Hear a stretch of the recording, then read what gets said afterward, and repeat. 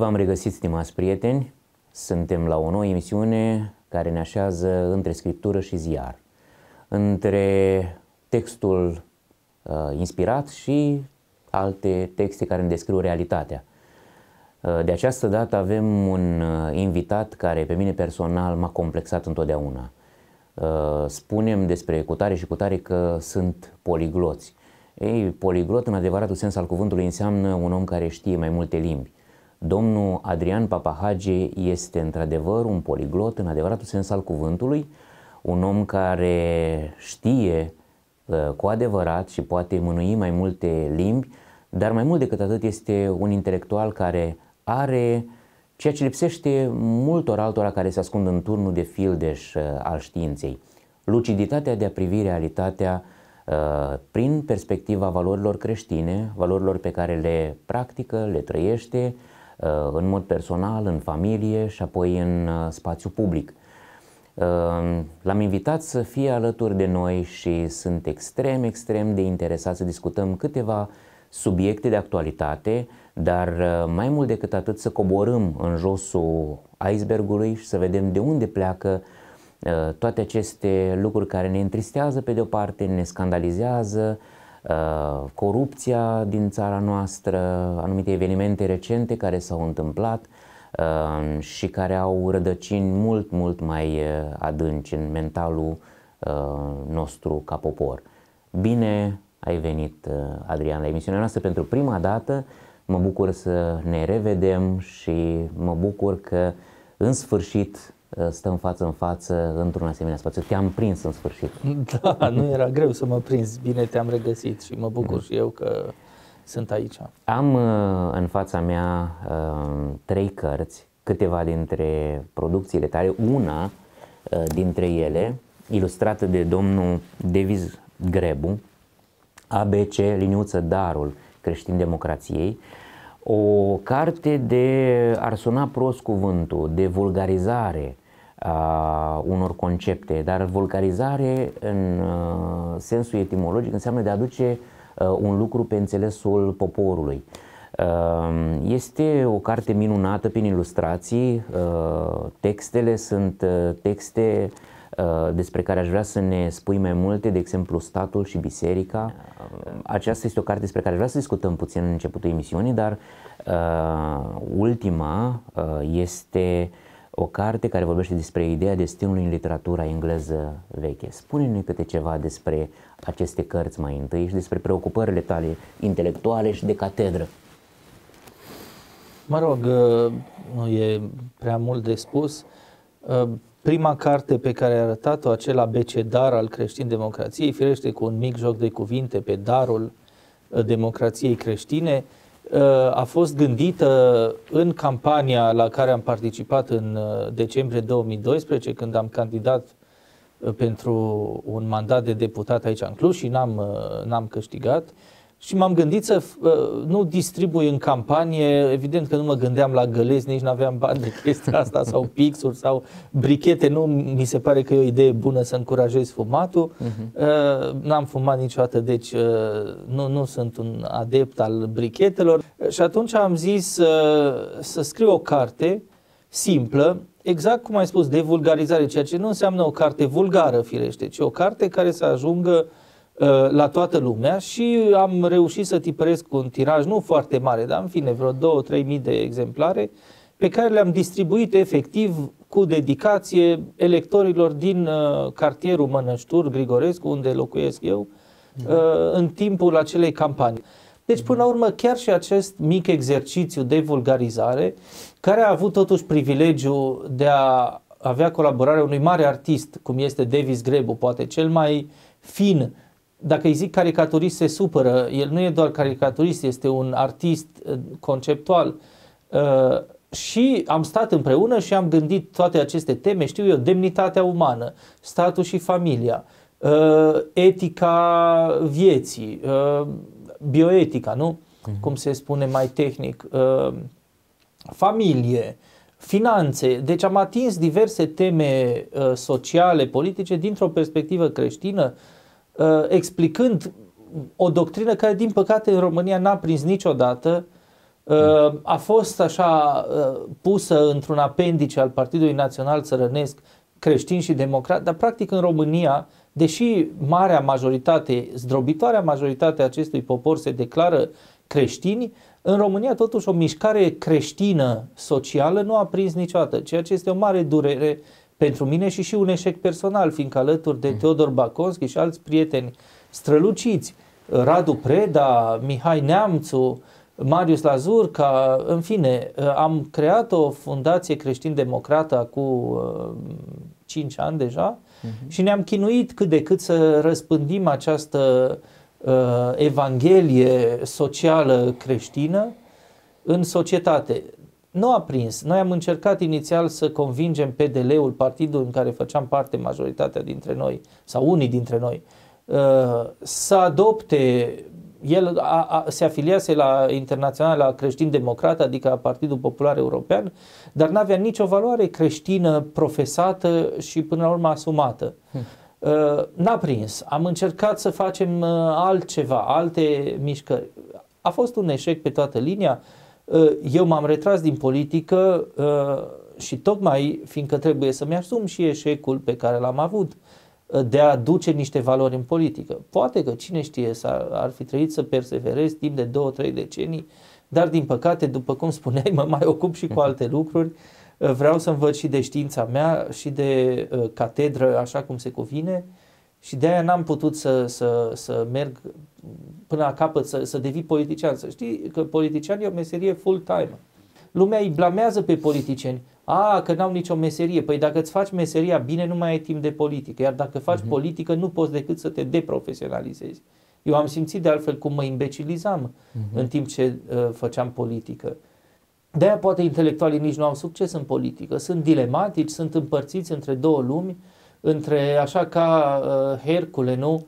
Uh, între o muză a virtuții și, o, și a implicării eroice publice și una, să zicem, mai reflexivă sau chiar mai, uh, știu eu, mai uh, oțioasă, ca să mă exprim așa, prețios. Când, uh, când ne-am întâlnit la Oradea, când ai venit cu domnul Teodor Baconski, admirabil ce ați încercat să faceți și am simțit bătălia din sufletul tău, dilema aceasta.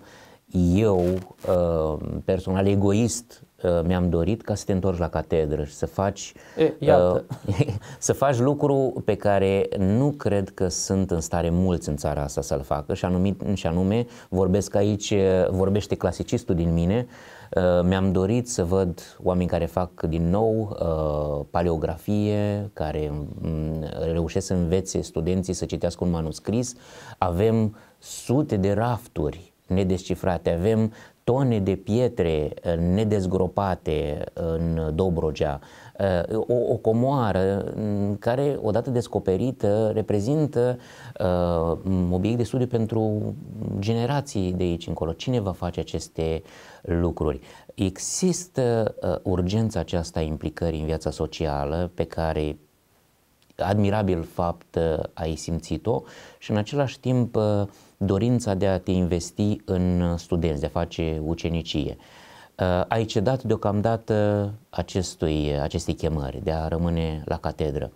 Uh, aș vrea să revenim puțin la primul subiect, dar să ne spui și exact ce faci la catedră pentru studenți. S-ar putea ca unul dintre uh, ascultătorii și telespectatorilor noștri să le se pară acest fel de preocupări uh, inutile. Da, așa cum la fel de bine printre ascultatori, printre telespectatori, există cu siguranță studenți de-ai mei, lucru pe care îl știu, așa că acelora li se va părea nu doar mai puțin inutil, ci și destul de exigent ceea ce fac eu. Fac partea veche a literaturii engleze, aș fi vrut să o fac în general pentru literaturile germanice, dar această împărțire rigidă pe catedre, discipline, face imposibil să predau de pildă un curs de literaturi germanice sau de gramatică comparată a limbilor germanice. Uh, lucru pentru care m-am pregătit, eu știu și engleza veche, dar și germana veche, saxona veche, uh, norvegiana veche sau islandeza veche, același lucru. Uh-huh. Bun, e un domeniu destul de abstract, dar este până la urmă fundamentul Europei. Europa s-a constituit din această sinteză romano-barbarică, ca să-i spun așa, dar barbarică însemnând principalmente germanică.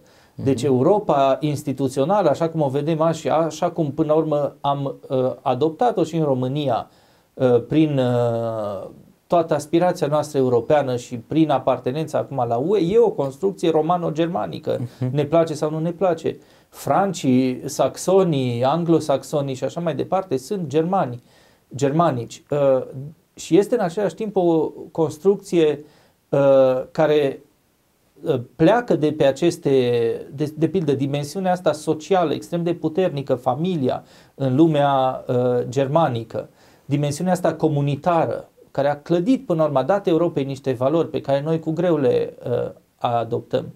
Și după aia legalismul roman, uh, instituționalizarea romană, deci combinarea aceasta a familiarului cu statalul, asupra personalului cu acest personalism uh, și social uh, deschis înspre social al germanicilor. Și pe de altă parte, firește, Europa este o construcție iudeo-creștină, după cum bine știm da. uh, cu toții, dar infuzată puternic de filozofie greacă și de uh, tot felul de alte credințe care se împletesc sincretic în, în creștinism.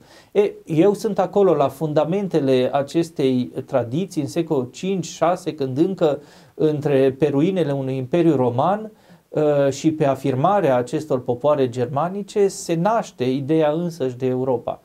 Uh, și asta le predau studenților, iar în ceea ce privește studiul manuscriselor, pasiunea mea și pe de altă parte o datorie a oricărui medievist, revenit în România după 8 ani de studiu în străinătate, mi-am spus că pot fi util mai ales studiind patrimoniul de carte veche manuscrisă din această zonă a lumii care se cheamă Transilvania și am fondat un centru de studiu al manuscriselor la Universitatea din Cluj, împreună cu câțiva colegi ne-am apucat și am făcut un vocabular al cărții manuscrise, hmm. stăm să publicăm un census, deci un prim recensământ, un inventar al tuturor manuscriselor medievale Excelent în grafie latină din România. Hmm. Nu hmm. sunt foarte multe, să știți, sunt vreo 500 în toată țara. În orice mică bibliotecă municipală din Franța sau Italia are mai multe, dar uh, Ăsta e tot patrimoniu. E și rușinos, având atât de puține, să nu să le nu cunoști. fie pus în valoare. Deci, da. iată, pentru prima dată, sper, în această toamnă, într-un singur volum, uh, cititorul va putea să afle care sunt manuscrisele Uh,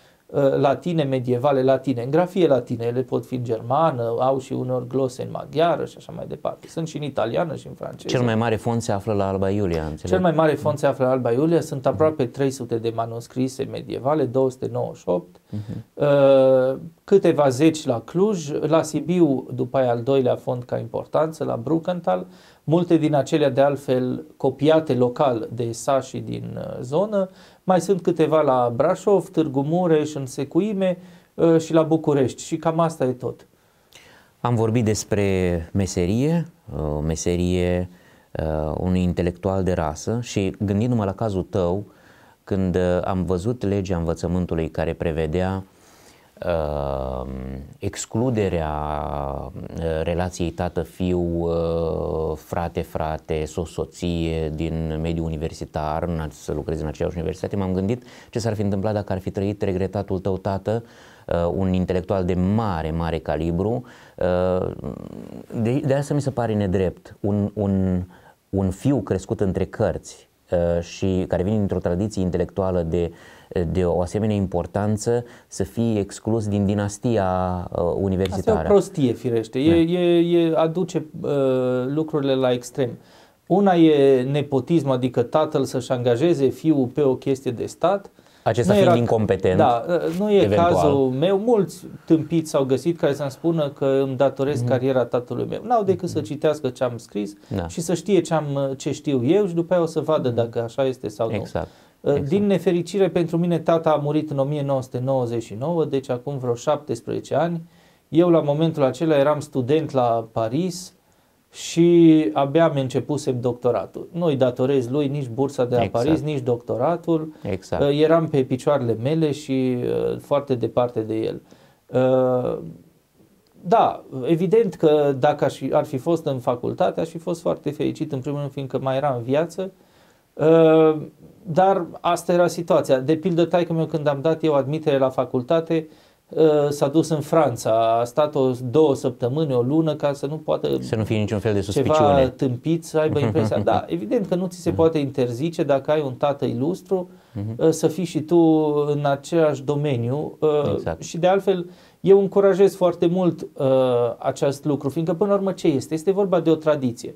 Un mare medic ce poate să transmită fiului lui? Uneori poate să-i transmită un cabinet cu totul și să-și facă ucenicie alături de el, așa cum un bun meșteșugar, că el înrămează tablouri, repară pantofi sau uh, scrie cărți, Uh, e normal să vrea să transmită acest meșteșug în primul rând celor care sunt alături de el. Și asta e cea mai apropiată relație de uh, ucenicie, tată-fiu. Da, uh, asta nu înseamnă că întotdeauna merge așa, de pildă fiul meu vrea să facă fizică și e dreptul lui și nu îi transmit altceva decât poate niște idei și niște lecturi ca să nu ajungă un fizician care n-a citit uh-huh. nimica. Dar uh iar în familia noastră această tradiție filologică are deja peste 100 de ani. Uh, uh, un strămoș de-al meu, Pericle Papahagi, scria uh, teza uh, cu Weigand în uh, lingvistică romanică la Leipzig în 1900. Hmm. Uh, alt strămoș publica uh, cărți în franceză și germană în 1906, în 1898. Avem uh, academicieni, avem profesori de uh, folcloristică în familie, Tache Papahagi, Pericle Papahagi, Valeriu Papahagi, uh, Asta este, cu 100, de 100 de ani ne ocupăm cu chestia asta, cu filologia asta. Nu înseamnă că uh, lucrul ăsta ar fi ilegitim sau ar trebui să mă jenez în vreun fel. Și sper să continui această tradiție, uh, uh, dar rămâne dilema. Intelectualul în viața publică. Cum uh, vom găsi drumul?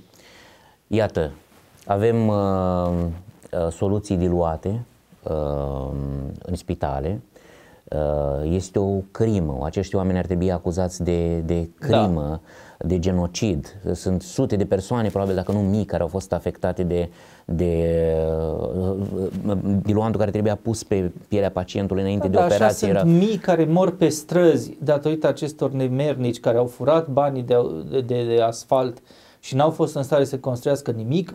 Ieri și alaltă la București au murit doi oameni tineri unul în pasajul Unirea, altul lângă Ikea, din accente care puteau fi evitate. Da? E, e o țară de un pericol absolut. Alții mor uh, din alte motive, din, din depresie, sunt copii mhm. lăsați în urmă de părinți plecați în Italia, am auzit care se sinucid sau intră în depresie, niște vârste fragile, sunt niște tragedii infinite. De aia uh, eu cred că era corect ceea ce spuneam alături de Monica Macovei și de alți prieteni în politică, corupția ucide. Ea exact. pur și simplu, exact. direct, nu, nu e figurat. Ceea ce, vedem, ceea ce vedem este vârful icebergului. Aceste evenimente, uh, uh, Hexifarma și uh, clubul colectiv, uh, am văzut, avem cel puțin două evenimente da. recente, uh, dar este doar uh, partea vizibilă. Aș vrea împreună, pentru că am, am citit câteva dintre uh, Uh, postările tale pe o rețea de socializare, mm, o rețea de socializare pentru care amândoi avem uh, rezerve și o oarecare uh, jenă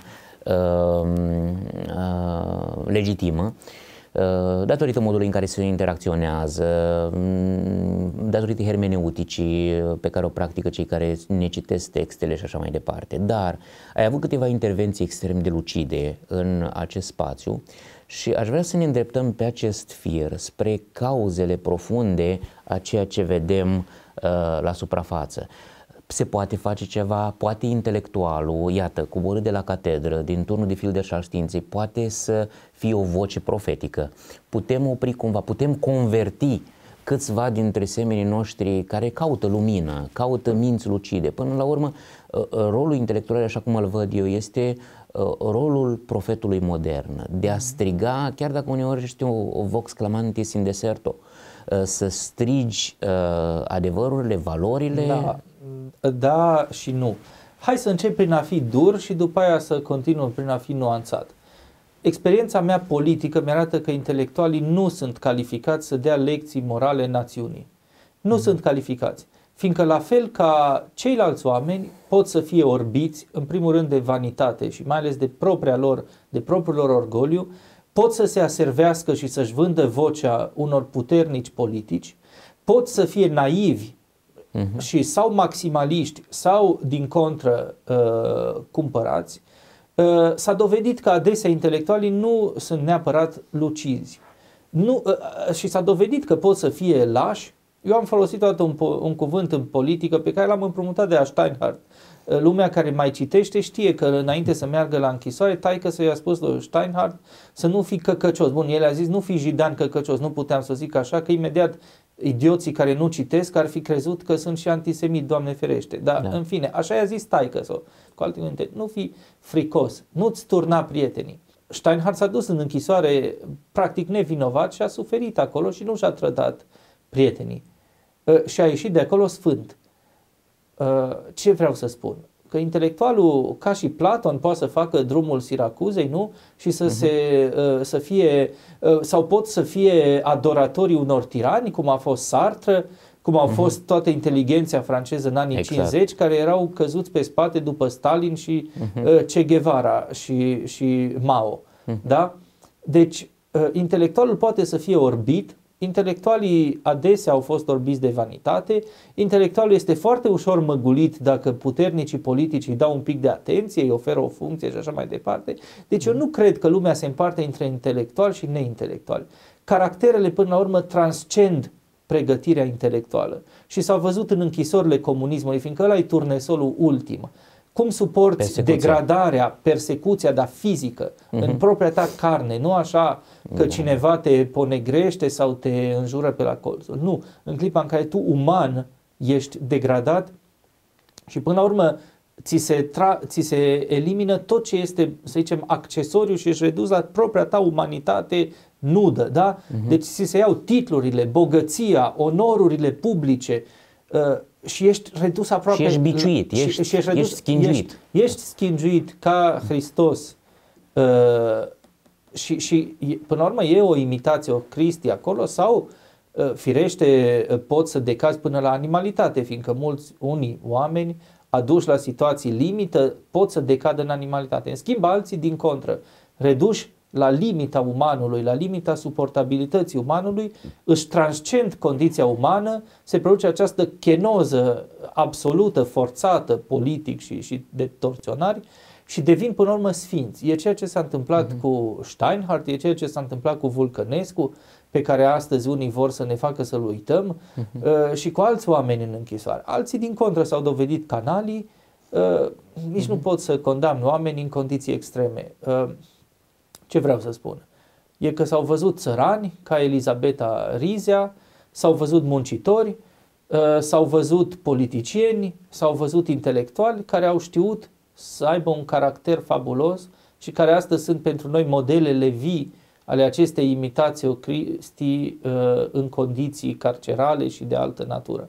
Mm. Și au fost alții care au pactizat în mod laș cu toate regimurile care s-au uh, perindat și care și astăzi își vând vocea și inteligența.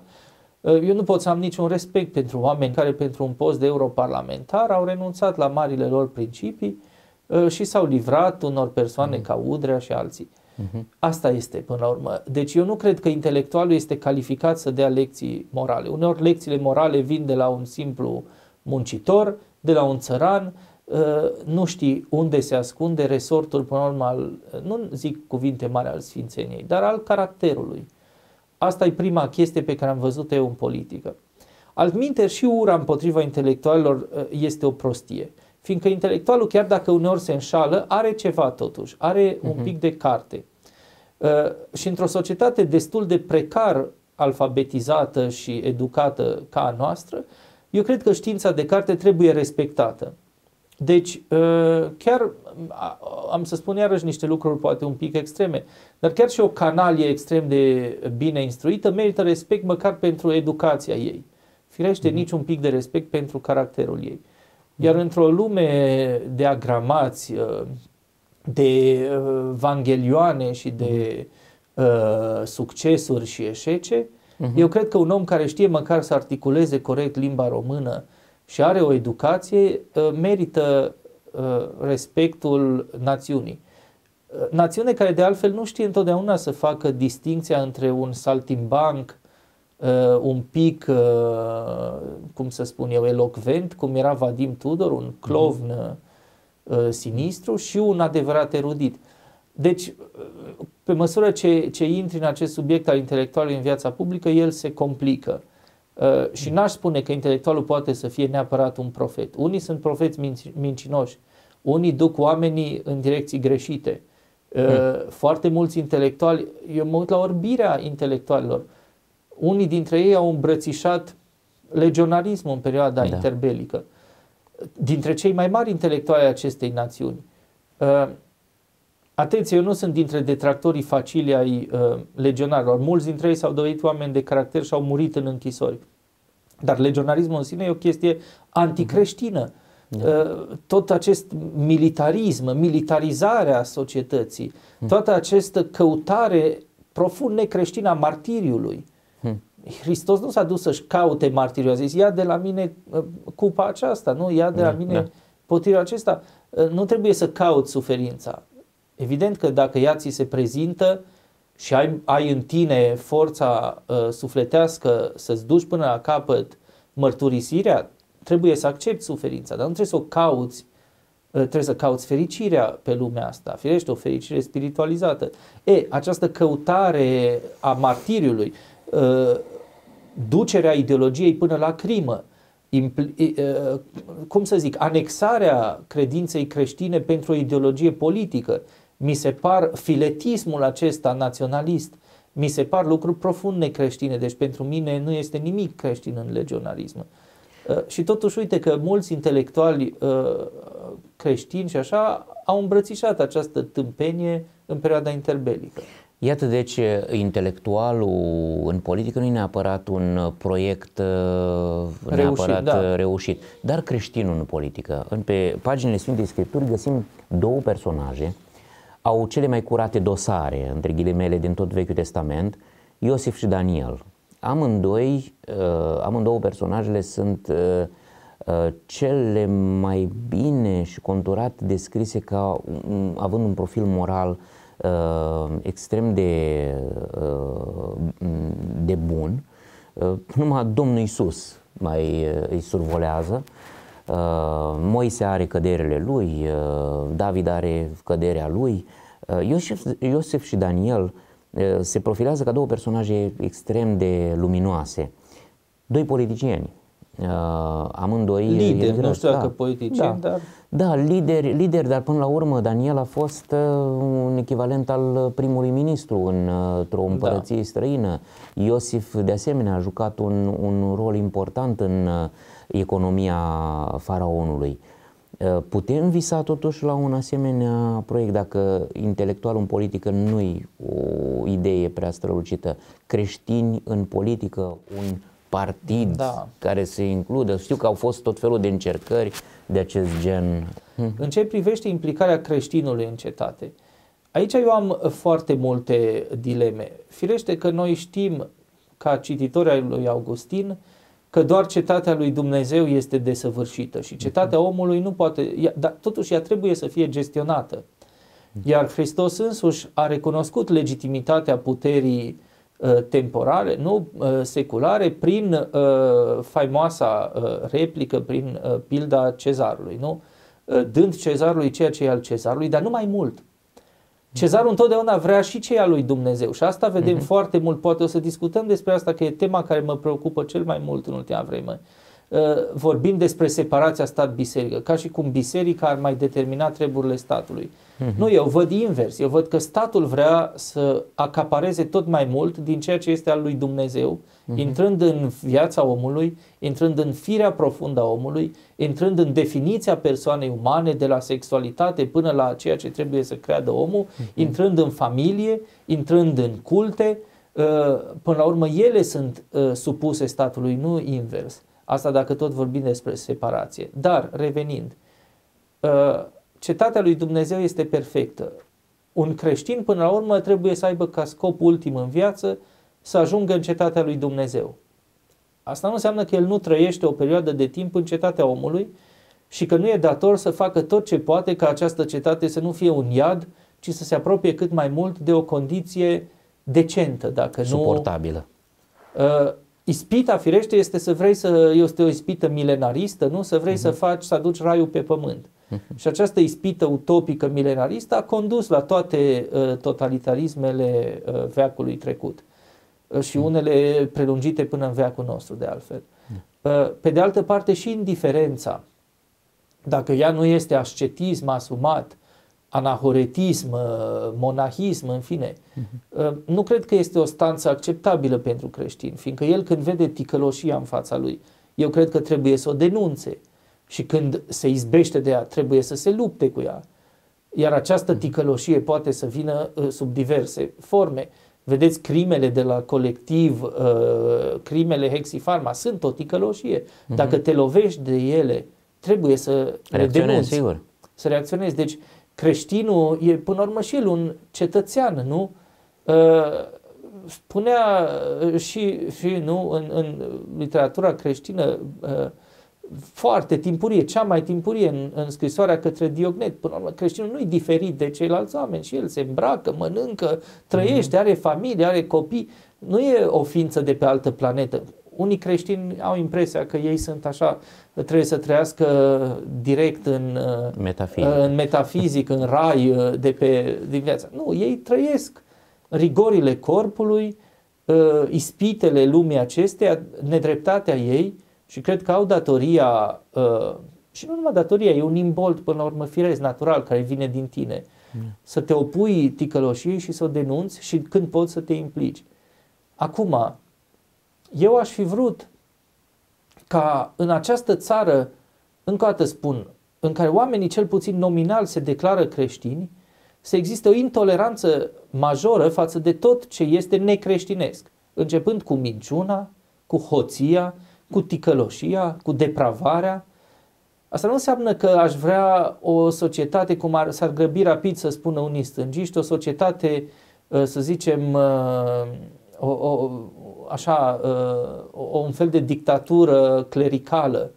Uh, nu, uh-huh. dar aș vrea o asumare a uh, profesiunii de credință creștine. Adică nu văd cum poți tu, creștin fiind, să votezi niște oameni despre care știi că sunt corupți. Cum poți?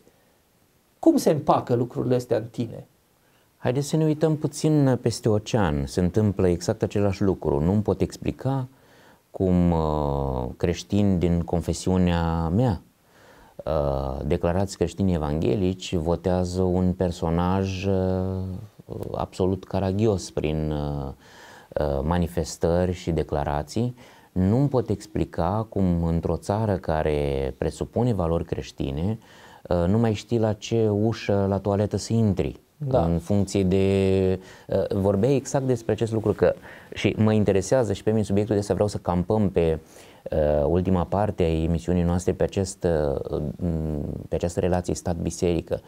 Uh, după cum știi, uh, evanghelici, în, în special baptiști, au fost cei care au, au practicat cea mai dură opoziție uh, față de stat, față de intervenționismul statului. Uh, pentru noi este doctrină fundamentală, separația stat-biserică.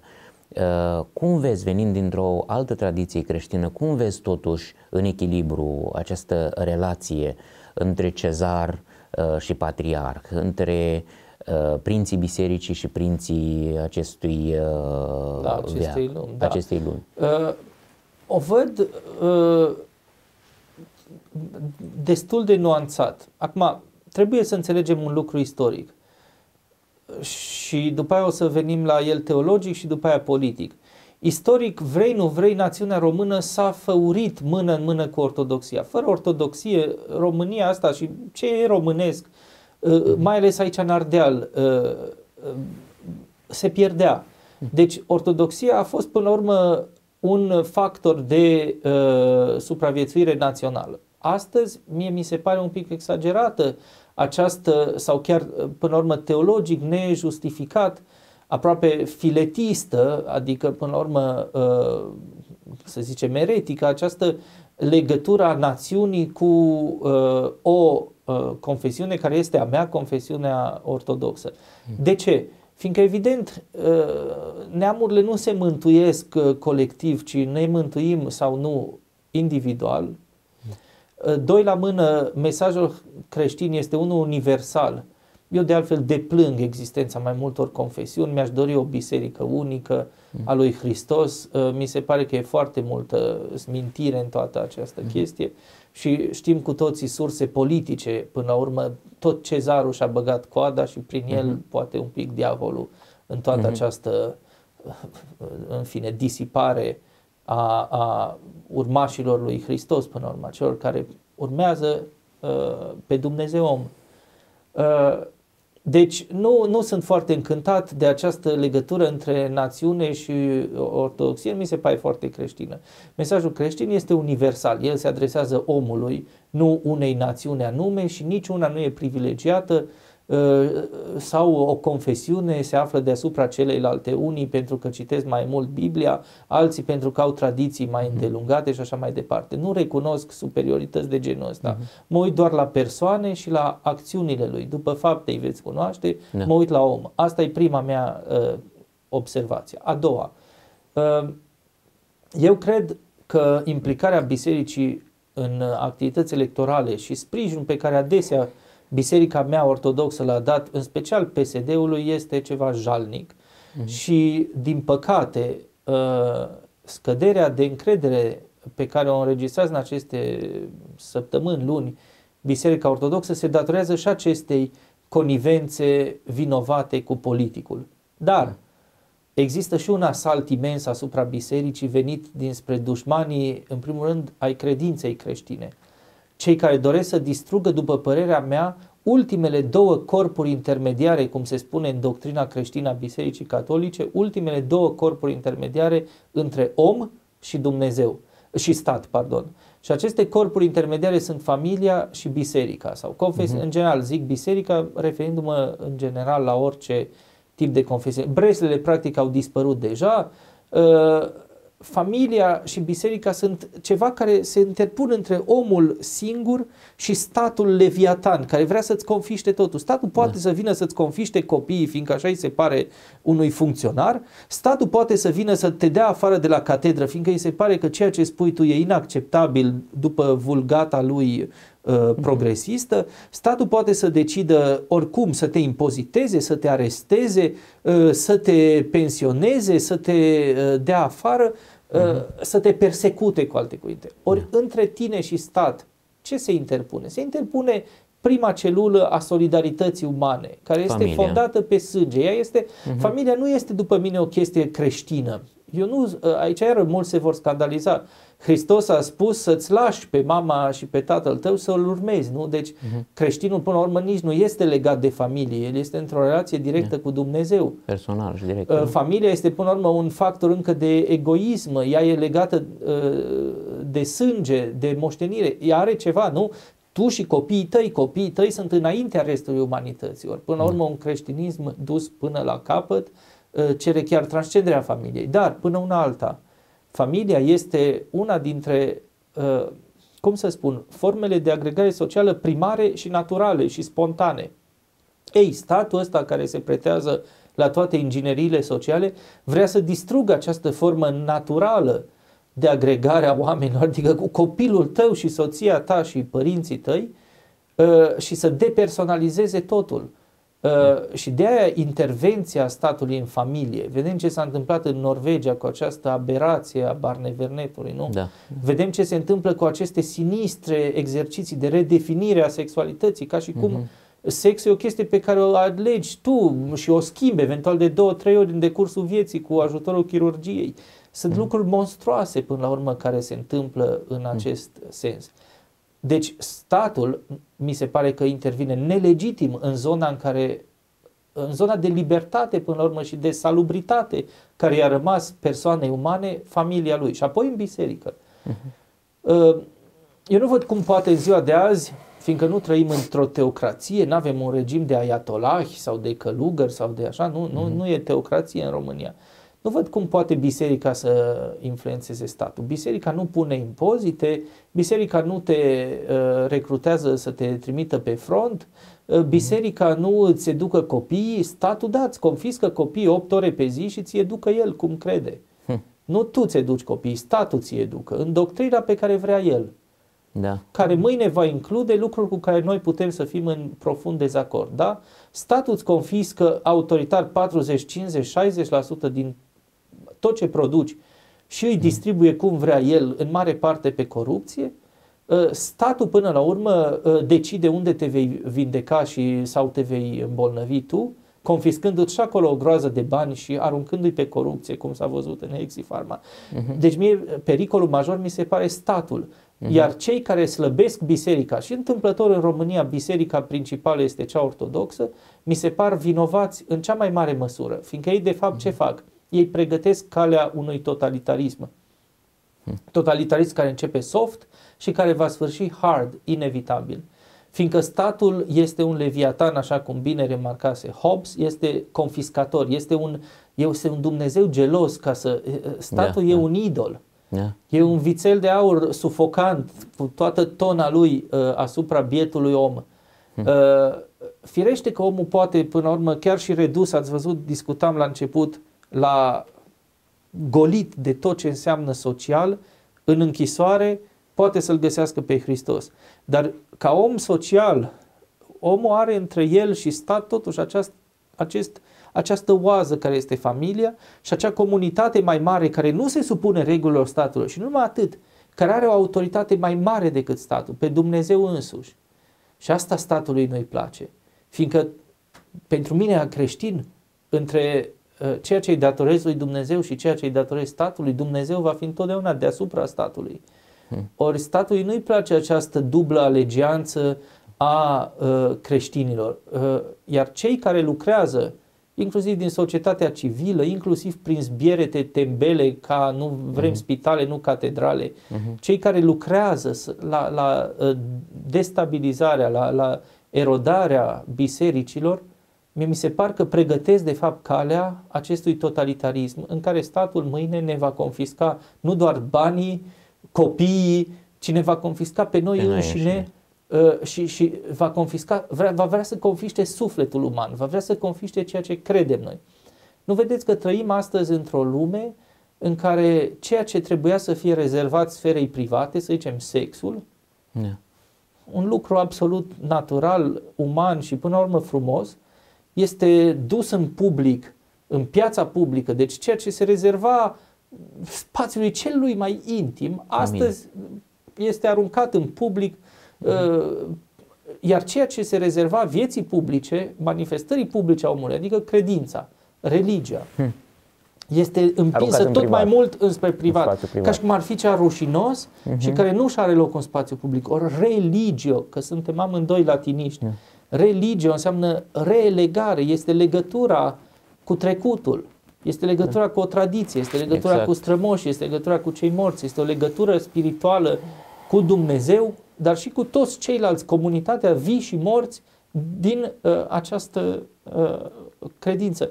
Ori, uh, cum să uh, elimini dimensiunea publică, eminamente publică a religiei și să o închizi în privat? Nu, nu, roagă-te la tine acolo în căsuța da, ta da, obscură, da, da. dar să nu ieși în spațiu public. Doamne ferește, sau să te mărturisești creștin, sau să ai un discurs creștin, că imediat ești inacceptabil. A, vreți să faceți gay pride în stradă și uh-huh. să mhm. defilați semi-goi, uh-huh. uh, mimând gesturi Asta obscene? Din contră, este uh-huh. ceva... Uh, păi, nu, păi, nu mă interesează sincer ce face fiecare în uh, atacul lui. Până la urmă, nu, e, nu sunt eu judecătorul uh, semenilor mei. Nu sunt eu judecătorul lor. Dar nici nu mi se pare că această uh, de, inversare, debordare de, de, de valori și de da, inversare de valori și, și debordarea unei moralități mm. publice care până la urmă permite societății să trăiască într-o relativă decență, ar aduce ceva. Mi se pare uh, o, o treabă destul de, de uh, periculoasă. Mai avem timp pentru o singură întrebare uh, și pentru un răspuns uh, foarte focalizat. Ai spus că te ocupi de acest bazin cultural care se numește Europa și discuți cu studenții, pornind de la lingvistică spre teoria culturii, culturilor. Cum crezi că va arăta Europa peste 10 ani? Putem vorbi despre o Europa încă fundamentată pe valori creștine, putem vorbi despre Europa care își modifică uh, fața destul de, de rapid. Cum crezi că va arăta Europa în care vor crește copiii noștri? În 10 ani probabil cam la fel ca astăzi, într-o sută de ani nu mai pot să garantez. Va fi puternic modificată. Acum, dintr-o perspectivă a unui optimism eschatologic care cred că trebuie să ne caracterizeze pe toți creștini fiind, nu? Creștinul nu e optimist neapărat uh, în veac, e optimist eschatologic, adică știe că sfârșitul lumii e până la urmă unul bun pentru dreptate și pentru adevăr și pentru frumos uh, și pentru lumină, da? Uh, din perspectiva și a unui providențialism creștin, uh, am scris mai multe lucrări despre destin, uh, eu sunt providențialist. Cred că Dumnezeul nostru nu este un Deus oțiosus care s-a retras din lume și uh, nu-i pasă de destinul nostru. Eu cred că providența divină, pronia, lucrează în istorie. Deci eu cred că lucrurile toate merg înspre cea care are un sens. Hmm. Istoria noastră, creștin fiind, are un sens, ea duce înspre ceva, iar acel ceva ne-a fost deja revelat. Hmm. Deci nu-mi permit să am așa un catastrofism din ăsta da, și din da, păcate da. îl observ foarte mult între creștini. Creștinii au ajuns să fie așa ca un fel de apărători ai unei citadele asediate. Nu, eu zic că trebuie să privim senini. Ă, că creștinismul este atacat non-stop, poate ne va întări lucrul acesta. Sigur. Habar nu am. Da, un creștinism plângăreț, un creștinism depresiv. Da, care un creștinism, nu, nimic... nu numai atât, un creștinism mereu în defensivă. Ori creștinismul este cuceritor. Creștinismul este cuceritor nu în sensul că ia armele și cucerește umanitatea. Este cuceritor și în sensul că este fermecător. Mhm. Eu vreau să văd creștinismul acela uh, senin și îndrăgostit de umanitate, nu pe la temător și împins într-un colț, așa ca un animal înghesuit și, și înspăimântat. Uh, vreau să văd creștinismul care se, redezvo- se, se redescoperă în literatură, în artă, în muzică, nu la nivelul ăsta chici de cântecele și de picturi cu mult roz și mov. Exact. Uh, nu pietismul ăsta uh, plângăcios, cum spuneai. Vreau să văd creștinismul ăla care e sigur pe sine, cuceritor. Noi creștinii de ce trebuie tot timpul să fim în defensivă? Ce avem noi de justificat? Ce ni se poate reproșa? Fără creștinism nu exista lumea liberă, nu exista toată cultura asta. Sau pe ar... chiar aceste valori europene despre Nimic care discutăm. din ele. Ele sunt toate integral valori creștine secularizate. Uh-huh. Uh, unele dintre ele, eu observ asta și în Occident. Până la urmă, buna cuvință a occidentalilor, faptul că nu-ți intră în viața ta, nu intră peste tine, te respectă și prin faptul că nu te claxonează în trafic, nu te împing mm. în colț, nu te obligă să le suporți uh, mirosurile, sunetele și, mm-hmm. și, și existența. Nu? Până la urmă, este o bună cuvință care este tot Derivată un reflex creștin. Da.